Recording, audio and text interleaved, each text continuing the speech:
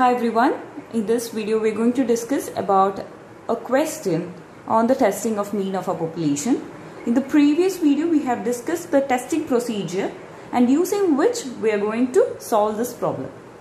So the question is as follows. A factory was producing electric bulbs of average length of life 2000 hours with standard deviation 300 a new process was introduced with the hope that the length of the life of the bulbs would increase.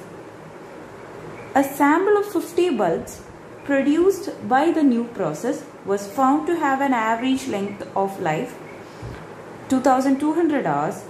So we have to examine whether it is reasonable to think the length of the life of a bulb has increased assuming the standard deviation has not changed at a significance level 0.5.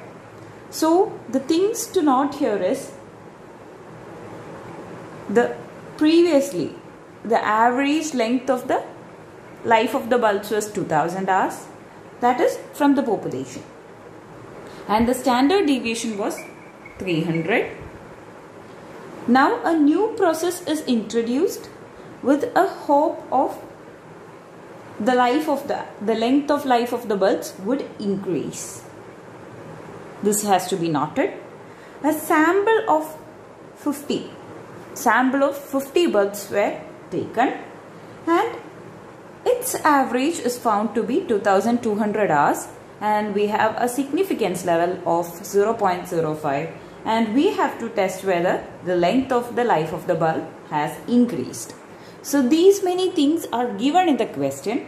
So from the question we can write what all things are given. So, solution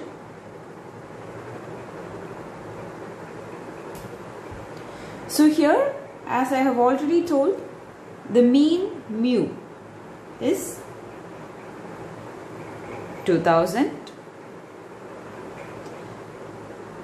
Now standard deviation sigma. This is the standard deviation of the population so I can write it as sigma which is equal to 300 now the sample, about the sample, a sample of size 50 is taken since it is 50 bulbs only that we are considering. And the average length of that sample is given as 2200 hours. So x bar is equal to 2200. And the significance level alpha, the significance level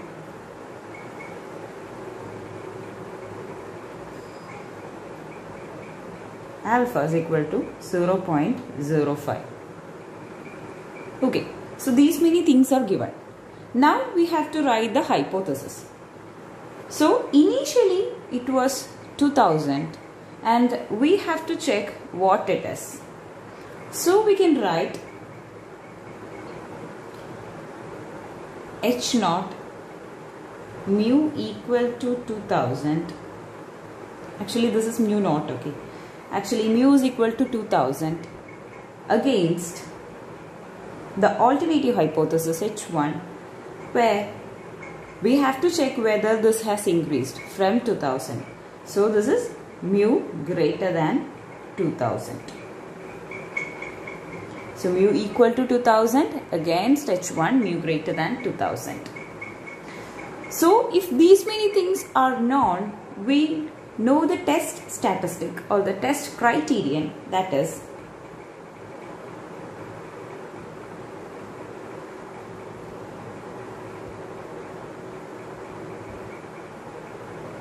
Z is equal to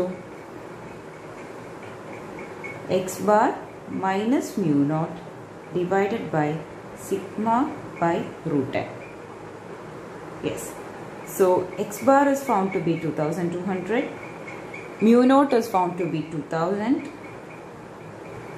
divided by sigma is 300 divided by root 50.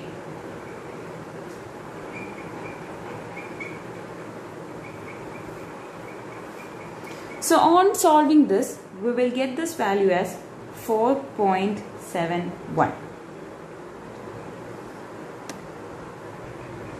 Since the sample has n is equal to 50 that the sample size is n is equal to 50 This is a large sample and we can say that this Z follows a standard normal distribution.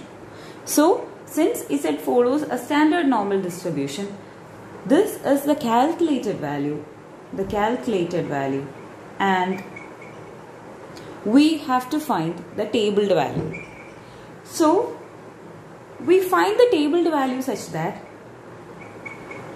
probability of Z greater than Z alpha under H naught is equal to alpha. So this is how we find it. And that is like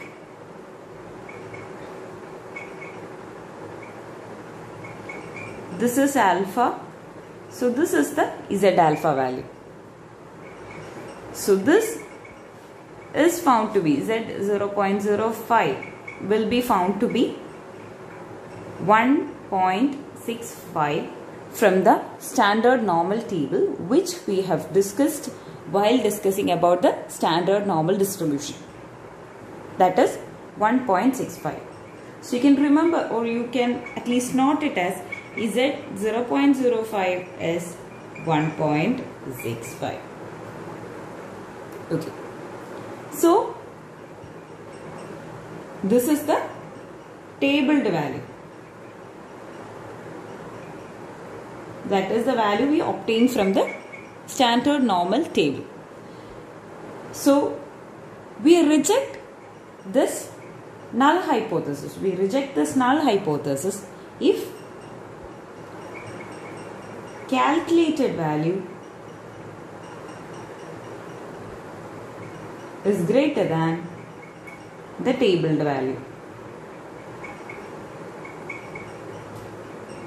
So here the calculated value is 4.71 which is obviously greater than 1.65 therefore we reject